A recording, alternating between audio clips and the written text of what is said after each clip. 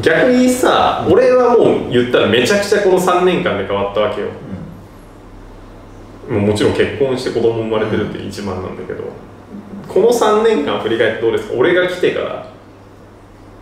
ここにこいやだから今日まで。来る前はうん。それはそれで、あのーうん。まだ何も分かんないから、うまあそれはそうだよね。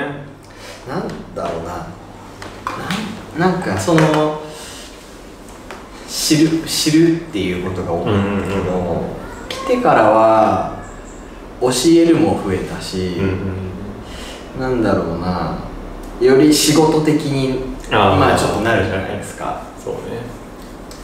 そういう部分がでもまあ一日一日あよく生き残れたなと思ってたな今も思ってるけど、うん。確かに確かになんかビザの更新のタイミングとかでさうん。毎回こうどどうするってなるわけじゃん。あー半年に1確かに回確かにとかでさ。でもそうね。でもオフ会とかめっちゃやってたじゃん。やってた。ねそのタイミングでやってたやってた。懐かしい。俺多分一番入出国してたわ